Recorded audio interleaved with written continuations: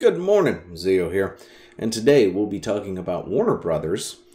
Warner Brothers, yeah, I know that, that's that's not something you hear often. Anyway, they have games, right? You know, like the Batman series and stuff, and uh, the ones that we're going to be talking about, um, like uh, Middle Earth's Nemesis system and things like that.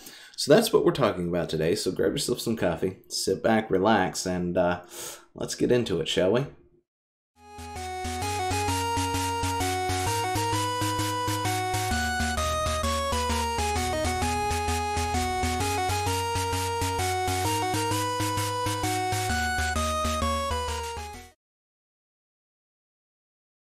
But yeah, um, the Nemesis system has been finally, after like, what is it? What year is this again? 21?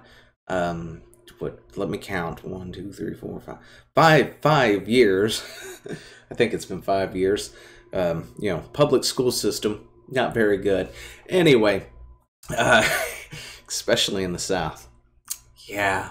So, uh, Warner Brothers Nemesis, uh, Nemesis, Warner Brothers has finally patented their Nemesis system from uh, the the Middle Earth series.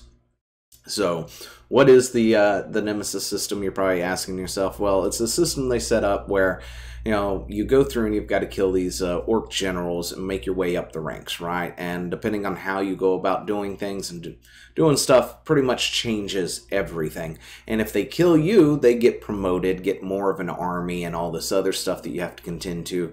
And, you know, then they could also come back if you don't completely kill them, come back for revenge and all this other stuff, get demoted. and and and other things. So it's it's an interesting system, right? The uh, problem is, of course, they have patented it. So, um, yeah, what was it? 2014. So yeah, about five five years, six years now, six years. Okay, yeah. Uh, but yeah, the patent is now under lock and key, and other developers likely won't be able to put their own spin on the Nemesis system without um, scrutiny from Warner Brothers itself, which is probably true. Um, but apparently, people on the Twitter were pretty upset, rightfully so, uh, whenever a company, a large company, makes a patent like this, especially a broad patent for this particular system. You know, uh, it, it really stifles the creation of the industry.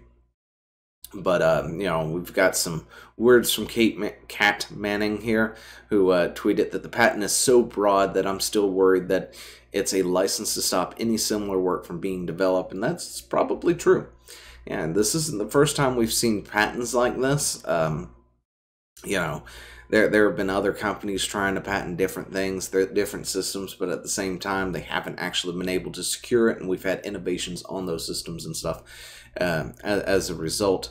Way, way, way back in the day, I can't remember who it was, but somebody patented the ability to. Um, what they had done was uh, during the loading screens, right? This was back when with very long loading screens. Uh, you know, people today sit there and say that 15 seconds is a very long loading screen. Wait until you're pushing over a minute for one. Um, from back in the day, when we had to walk uphill barefooted uh, both ways in the snow just to get to school, you know, that sort of thing. Anyway, there was a patent for a loading screen thing where you could play, essentially, they had put a mini game in the loading screen so you could do something while the game was still loading. And, um, you know, they patented that.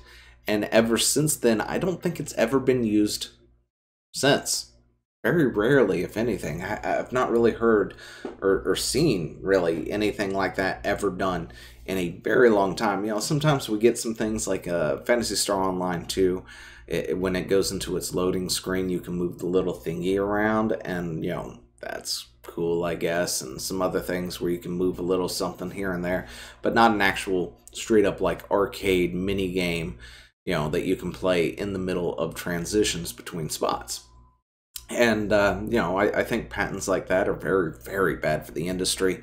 Uh, you know, it stifles creation because if it wasn't for that patent, then everybody could have enjoyed things like that during their, their load time.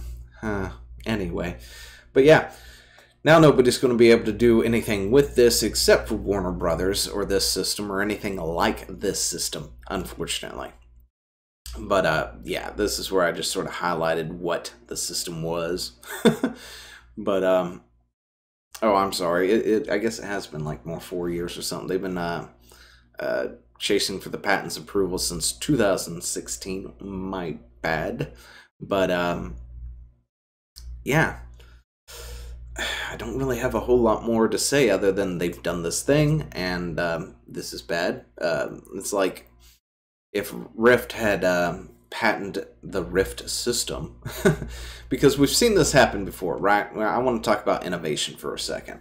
Um, you know, games have taken things from other games and they innovate on those systems, put their own spins to it, or this, that, and the other. And, and we see it a lot in the MMO world, right? You know, I don't know how many times we saw the WoW killer come out and then it didn't kill WoW, right? It's been left in the dust for various reasons. Um, but yeah, we've seen WoW, for instance, World of Warcraft, if you don't know what I'm talking about, um, actually use those systems themselves after the fact. Uh, whether it's from an add-on that was developed, like a what was it, like Quest Helper or something like that, Quest Tracker. Can't remember exactly what the old add-on was called, but it's now streamlined into the game, right? Uh, you know, it, it's it's a streamlined feature that is actually in the game that you no longer need said add-on for. Um, but then you had say Rift come out, and Rift did the whole "you're not in Azeroth anymore" play, and um, you know Rift isn't that bad of game. I have no idea what was going on story-wise because I didn't pay attention. But um, I did enjoy Rift and its soul system and its interchanging the souls and stuff. Uh, probably the most fun I ever had playing as a bard before. Um, but yeah, you know, it, it, had some interesting systems, and its most notable system was the Rift system. And then um, ESO adopted a similar system, except for, you know, its anchor points, you know, are in the same spot. They just don't randomly spawn. Uh, and then you had World of Warcraft, who also adopted the system and put their own spin with it, and that's what we call world quests these days randomly generated quests that appear in the area. It's no different than the Rift system when a Rift opens up and you have a randomly generated event happening in that spot, right? Uh, you know, WoW has essentially adopted that system and innovated on it. Um, but yeah. you know, if something like that had been patented, then it would be a different story. WoW would probably still be using dailies and would have its own daily island or something that everybody's constantly in, and you can't find anything, can't do anything because all the stuff are killed because every other person in the realm or the server is right there at the same time trying to kill the same dang mobs, you know, 50 times. Uh, the world's uh, the world quest system is a much better system because even if you do run into that, you can go hop over and do a different one and come back later when it's less, um, you know, full. so essentially, they have innovated on their systems as a result. But, you know, when you get patents like this, it makes it really hard for other industry or for other companies to actually innovate on it. They're afraid to try and innovate on it because even if they do put enough of a spin on it, because they have the patent and it's so broad, they can still come after them for it because it's not the same thing as say copyright, right?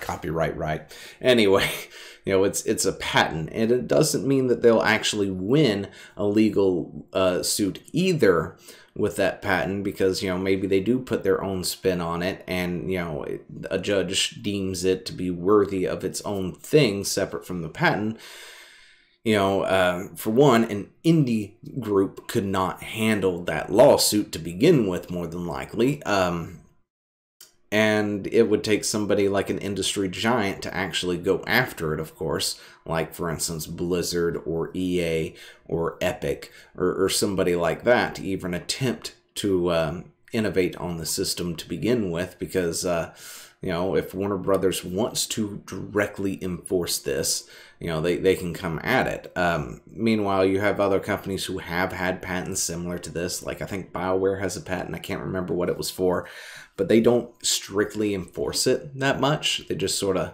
let it be. Um, but yeah, I just, I hate things like this. Patents, this, this whole thing. Anyway, um, yeah, that's it. That's all I got. Uh, you know, if you haven't subscribed yet, go ahead and do so. Like the video if you like it, dislike it if you dislike it, and all that good jazz. And um, I will see you in the next one. Hey, thanks for watching. Don't forget to leave a comment, smash that like button, and always subscribe for more. And of course, there are other videos floating around somewhere on the screen, so click one of those and see if you can find something that uh, suits your fancy. Till then, I'll see you later. Bye.